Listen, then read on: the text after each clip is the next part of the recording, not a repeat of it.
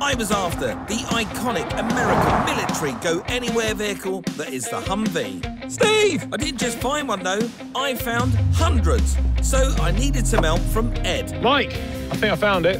It wasn't quite battle ready, but we worked through the night to bring it back to life. Ready? yeah, nice one. Good job. And once the differential was reattached, we were finally on the road, or off the road. Wow! We bought ourselves a Humvee. Nice. Edd then set about creating the ultimate go-anywhere camping vehicle. We're going to have pretty much everything except for a kitchen sink. Oh, no, actually, that is just going to go down there somewhere. It certainly looks the part now, but how much did taking home comforts into the wilderness actually cost us?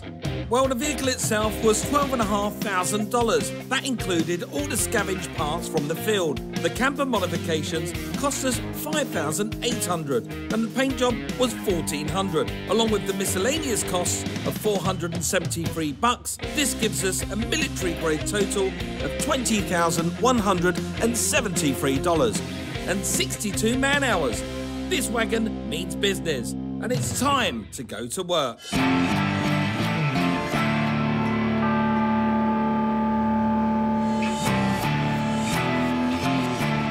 Oh, look at that! Now that is one mean looking camper.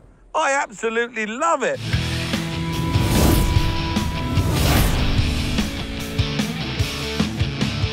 And I love it in that colour. It looks so rugged. Which is running beautifully. I went over all of our field repairs, and the starter circuit and the transaxle both work beautifully. They're still tip top, as is the rest of the vehicle. So she's ready to go. Perfect. I'll drive. Okay, well, it's pretty better because I don't really fit in this thing. Oh, look at it inside. It's brilliant. I'm looking forward to this. Right, run. Oh, look at that. The glow light went off straight away. See, that's all fixed. Does it start from cold? Well, actually, she starts reliably whether hot or cold, which is rather good. Fantastic.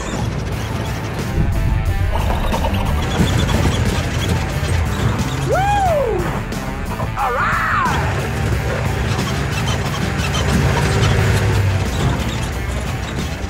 Oh, and it feels lovely. Immediately you get behind the wheel, you have the air of, well, superiority sitting right up high. Right, our first big boulder to face, ready?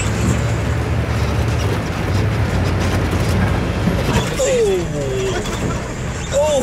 Oh! But we're okay because we've got about 16 inches of ground clearance, which is good for a vehicle of this size.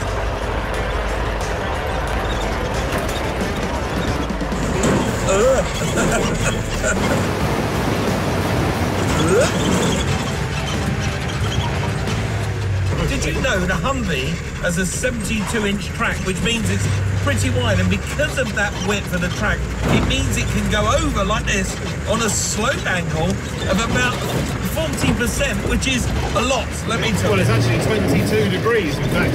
But what's really interesting of this thing, because of its centre of gravity is so low, that it won't actually start to roll over until it gets to 55 degrees. Whoa, whoa, whoa, we're not doing that. We are not doing that. I definitely don't want to be in the vehicle when that happens.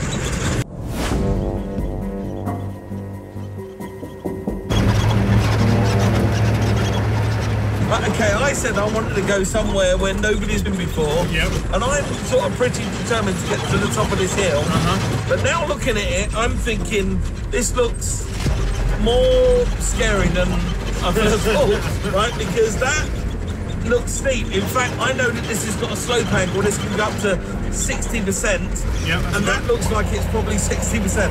Well, that's about 31 degrees. Now, I still got to tell from here, but it's got to be very, very close to that. So, um, good luck with that, mate. I'm going to use a bit of CTM, which is controlled throttle modulation. As you can see, I've got my foot on the throttle, Yeah. and I'm using just the brake to feather it to make sure I've got grip all the way round, and I'm getting this up here, up the hill. But you can see I'm actually sliding off my seat. Am I going the right way? Do you reckon it? I think you are. Give Wasn't it a go. there, or should we go here? No, give it a go, give it a go. This is good, this is good. You say it's good. This bit's not going to be good. This bit's really steep. Oh, it slips. Oh, it that's amazing. Just keep it nice and calm. Nice and calm. There. do, don't look over the edge. Whatever you do, don't look over the edge. oh, yes, baby! Yes! That is absolutely oh That is amazing. epic. There is no way any camper has ever been here before. Never. I think people off-road up here. Oh, that is But not in a awesome. camper. That is- actually, it's quite nice and flat here. Oh, wait, that was... I think we found our little campsite location. that was absolutely brilliant. Oh, look at that! That is absolutely epic.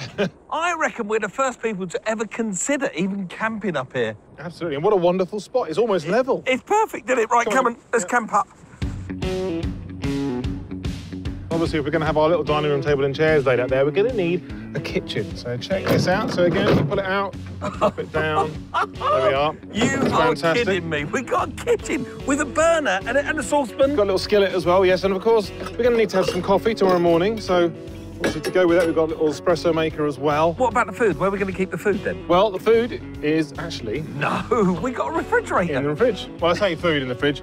Actually, got our little bottle of champagne because we're going to celebrate making it all the way here. You've absolutely nailed it. Uh, there's one last thing. Obviously, once we've actually had our nice steak and whatever we're going to eat with it, raccoon probably, I guess. It Up in here, No. so you can do the washing up. it Plumbed work? it- Of course it does.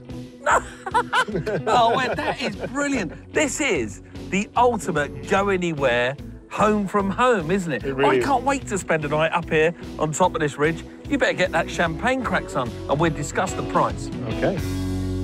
So we've done it. We have proven that you can definitely make an extreme off-roading camper van out of a Humvee. So I guess from these heady heights, what kind of money are we going to sell it for? Well, I have seen them in standard spec go anywhere between ten and fifteen thousand dollars, but this is in no way standard spec, is it? For that reason alone, I'm really going to push it. I'm going to go for twenty-five thousand dollars, which is around sixteen and a half thousand pounds. All we got to do is take a picture of us sitting up here with that Humvee at the top of a mountain, and whoever comes to see it and sees that picture, they're going to buy it. Trust me. Definitely going to drink to that. Why are we drinking champagne out of espresso mugs? Well, We are roughing it. Cheers.